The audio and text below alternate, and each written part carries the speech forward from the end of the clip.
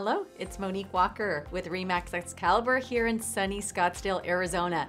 And this is our market update. So here are five things that you should know. Number one, is anyone buying real estate right now? And the answer is absolutely.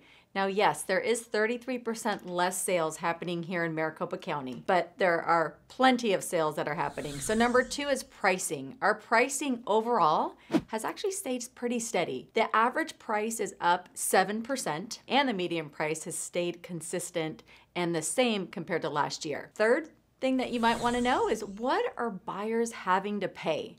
So here's something interesting. They're paying 98% of list price compared to November of last year, where they were paying 97. So again, very, very similar to numbers uh, for last year. And the fourth thing you should know is how much inventory is on the market. Well, right now we have about 18,000 homes that are on the market, and that's down 22% compared to this time last year. And the old adage is still the same today. If you're motivated to sell your property, it is a price war and a beauty contest. So you price it correctly, right, and have it be in really good condition, you will get it sold and it will sell within the average time frame. Which number five is days on market.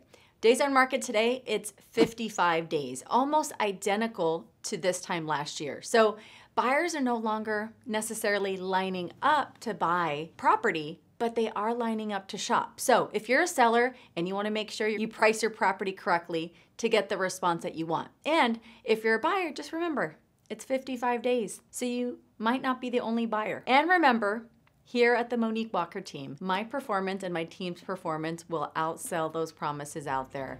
I would love to help. Call me. Can't wait to hear from you.